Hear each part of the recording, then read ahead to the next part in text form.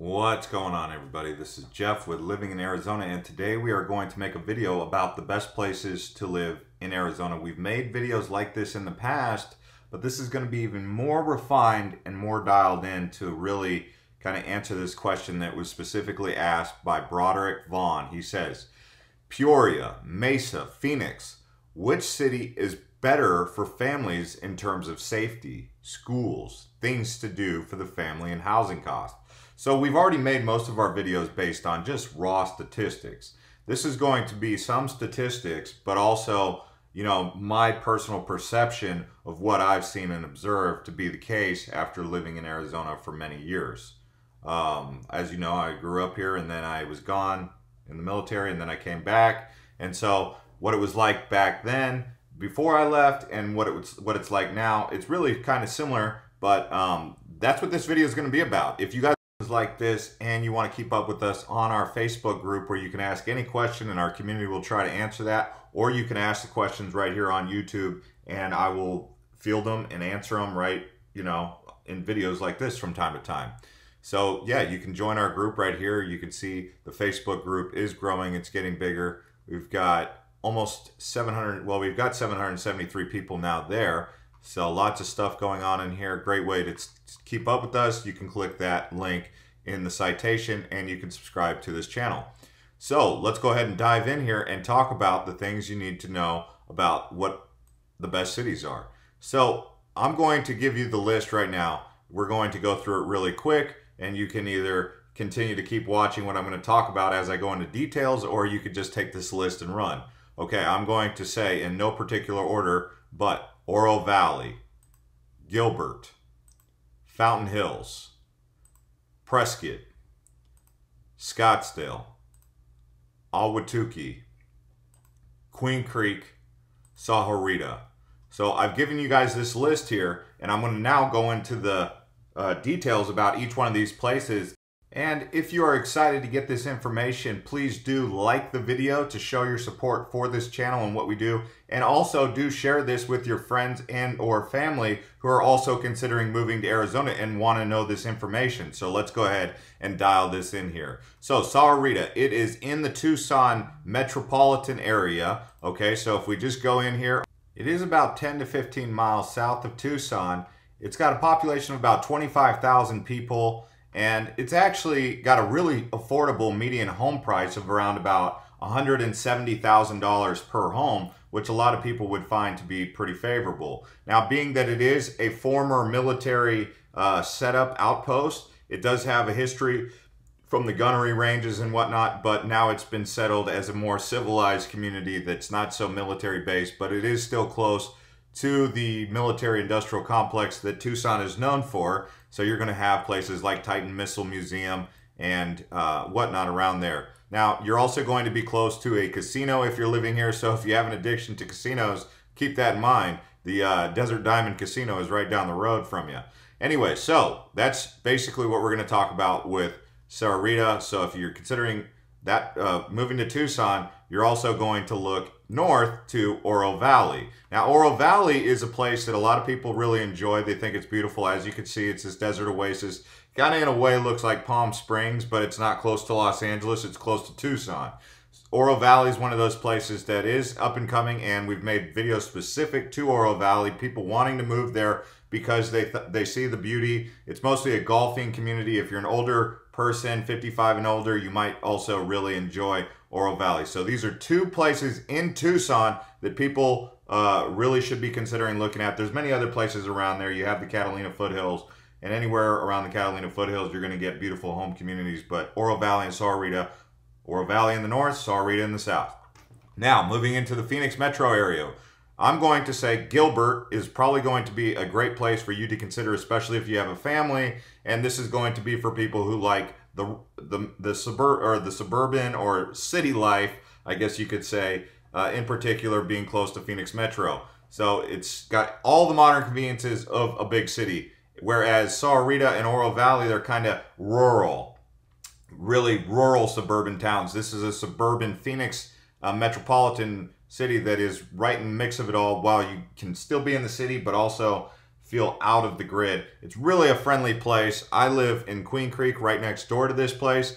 Uh, median home price here is going to be about double what you're going to get in Sahuarita. So if you're if cost and and and chilling out is going to be a thing, then go to Tucson area because the homes are cheaper in that area. But if lifestyle is really important to you and you don't mind paying three hundred and twenty-five to three hundred thirty thousand dollars uh, for a home, which really, if you're coming from California, is like that's a drop in a bucket. A three hundred thirty thousand dollar home in San Diego gets you like a, a two bedroom condo, right? In in Phoenix Metro, you get a three hundred thirty thousand dollar home in a, a big, nice beauty.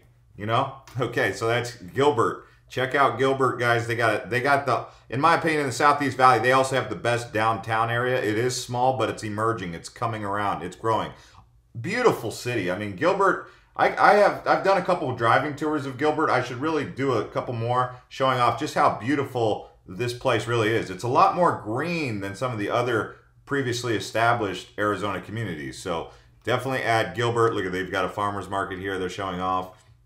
Um, the next town that I'm going to talk about is going to be one of my personal favorites, especially as a kid. I'm going to show you um, where this is here. So you're going to go into Scottsdale and you're going to head over towards Fountain Hills. So Fountain Hills is called that because of a big fountain. It used to be the world's largest fountain. Let's see if we can even get a picture up close on this. Uh, let's see, do they have 360 degree view of the fountain? Well, either way, um, Fountain Hills, as a kid, this was one of my favorite places to go. The big fountain is great. Um, that's where it's at.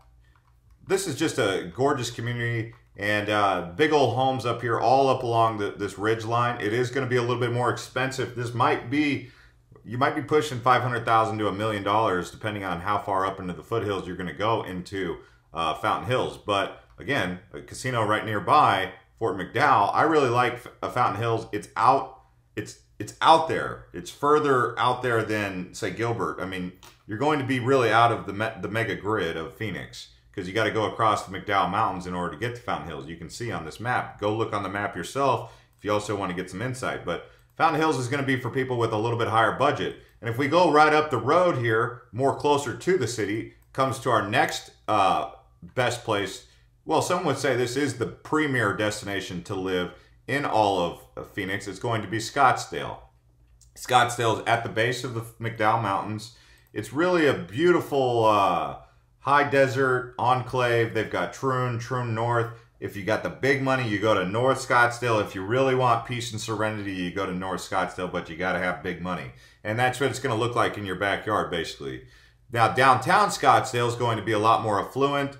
Uh, the further you go into Scottsdale, and we've made a couple videos about this, uh, there's a video on our channel, which I can post a link to also at the end of the video. Um, you're going to have Scottsdale Road which is going to be basically the uh, the big premier area. But once you get past Shea, you come into Gainey Ranch and McCormick Ranch, and then over here you have Paradise Valley, which is considered a really it, it's its own city, but I would say Paradise Valley is probably more a part of Phoenix. So I'm going to say that really Scottsdale and Paradise Valley are kind of the same. If you're considering Scottsdale, go check out Paradise Valley. Now, areas around Scottsdale, there's also East Scottsdale, which is going to be off of Shea. So when you get to Scottsdale Road and Shea, go east. That'll take you to Fountain Hills if you wanted to do all three, Paradise Valley, Fountain Hills, and Scottsdale in a day or in a in a trip. But these are for the big money people, so you got to have big money for this, okay? You can get nice condos, you can get nice um, houses, property, all that in Scottsdale. It is probably the premier spot. And then they have a nice nightlife, which is going to be a little bit further down, though. So if you're living in North Scottsdale and you like to go out, you're going to be pretty far away from Old Town.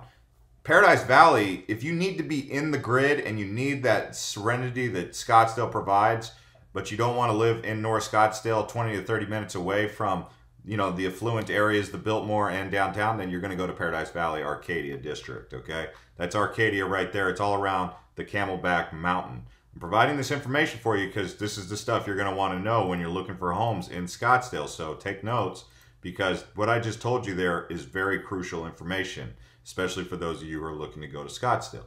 Now, if you want to move to the Phoenix metro area and you're looking for a pretty nice place that's connected to the city. It really is. It's Ahwatukee. Ahwatukee is close to the city. I'll show you exactly where Ahwatukee is. It's over here.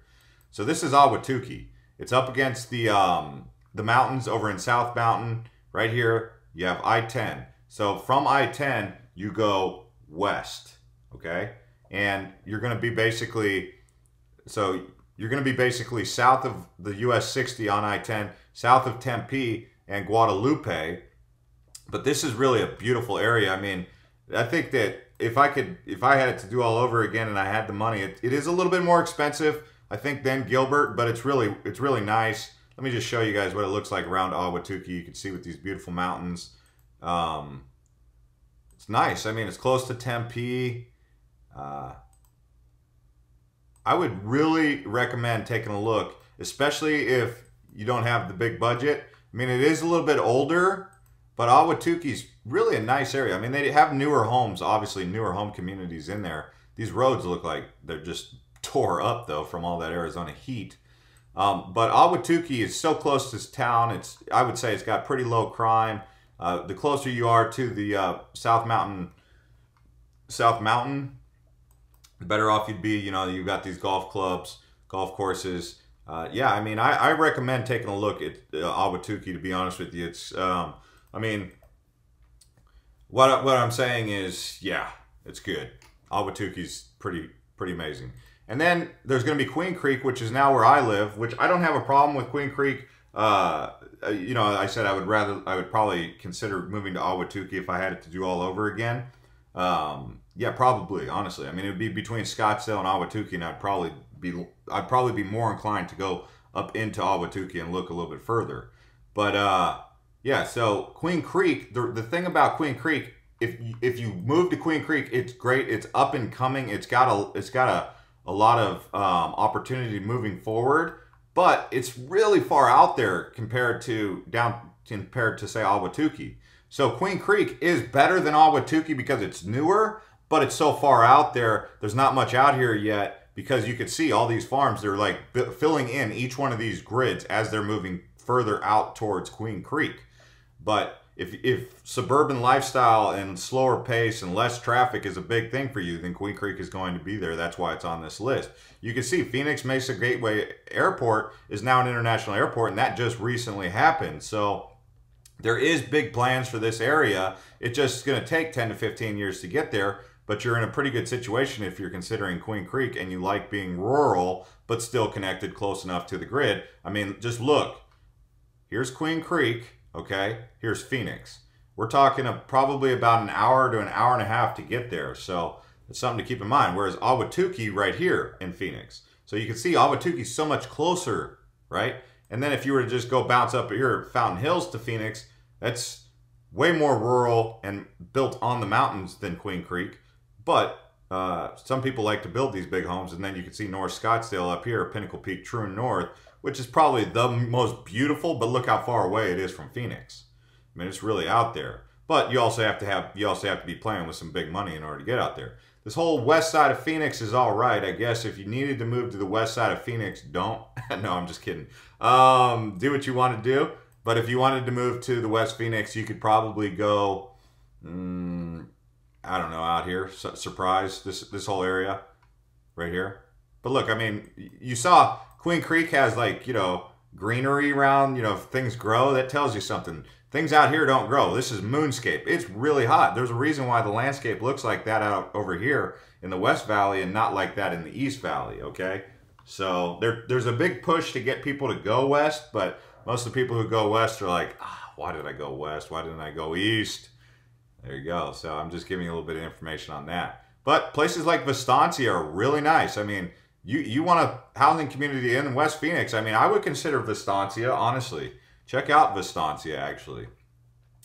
So that's really going to round out our list uh, in in the south southern part. And then if we go north and you want to live in northern Arizona, probably the best destination that I would tell you to consider is going to be Prescott. So Prescott, I've mentioned this a couple times. I really like Prescott. It's high desert, northern Arizona uh, two and a half, two hours away from down or downtown Phoenix, probably. Uh, Phoenix Metro is maybe an hour and a half away. You're going to really like Prescott. If you're into the colder climates and the pines, the ponderosa pines, that's what most people consider uh, great about Prescott. It's it's cooler, it's not as hot, but I mean, it's it's it is a smaller town environment. You are going to be. Uh, I would recommend you to be a great at an outdoors person if you're going to move out here because the big city life is two and a half hours away, two hours away, depending on traffic. I mean, you could see. I mean, here's here's Prescott, and here is Phoenix. You can see it's quite a big difference. And the other places around Prescott that you may consider are going to be Yavapai Hills and Prescott Valley. If you want to go really far north, the Chino Valley, that's where you can get some property. And uh, yeah, I mean, this whole area, if you start moving more east, you get up into Jerome, Clarkdale, Cottonwood, Co- Cottonwood, Verde Village, Cornville, and then you head over to Sedona. Sedona is great, but we're going to leave that one off the list, but it could get honorable mention. A lot of you already like, Sedona. But people don't want Sedona to get too big, and if I just hype it up, you know, people will start moving there. So I'm going to say Prescott because Prescott's still pretty close to Sedona. I mean, it's an hour drive away, so you're in good good shape to get over there if you need to. Anyways, guys, thanks to everyone who's liked these videos. Share this video with your friends and family who are considering moving out here. And hopefully this answers the question that was asked about uh, Peoria, Mesa, Phoenix. I mean, yeah, those aren't on this list, but if I had to pick Broderick, if you're still watching, I would say you would go with either Peoria or Mesa. Phoenix is just down to the whole Phoenix area, I would say is a little bit more expensive, but also, or well, it's not too expensive, but it's just, it's, it doesn't have the vibe that Peoria and Mesa have. And it just depends. Do you want East Phoenix or West Phoenix between Mesa and Peoria? But if I had to pick between Peoria and Mesa, I would say either East Mesa or Peoria, like towards Vistancia. So hope that answers the question. And this goes over the best places to live in Arizona in terms of family and housing costs and all that, bang for your buck, quality of life. That list that I just gave you is really, it's a variety of different prices, but all really safe and pretty pretty good places to live. And watch any of these other videos if you guys like.